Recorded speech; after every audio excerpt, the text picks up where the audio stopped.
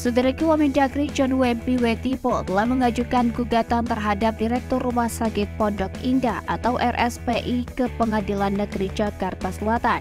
Gugatan ini dilayangkan karena John merasa namanya dicatur dalam surat keterangan lahir sebagai seorang ayah dari bayi yang dilahirkan oleh Veronica Jennifer. Alasan John Wepi Wetipo menggugat RSPI itu karena dirinya tak terima namanya dicantumkan dalam surat keterangan lahir sebagai seorang ayah dari bayi yang dilahirkan wanita bernama Veronica Jennifer. Dalam gugatan tersebut, John Wepi Wetipo menuntut ganti rugi sebesar 23 miliar rupiah untuk kerugian material dan imaterial yang dideritanya. Hal ini diungkapkan oleh pejabat Humas Pengadilan Negeri Jakarta Selatan, Chu Yamto.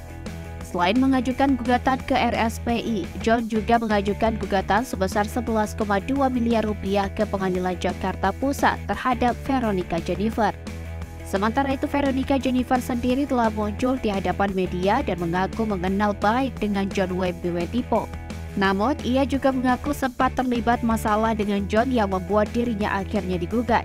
Veronica mengklaim bahwa dirinya memiliki bukti yang menunjukkan bahwa John adalah ayah biologis dari anaknya namun ia akan memberikan bukti-bukti tersebut setelah dilakukan mediasi.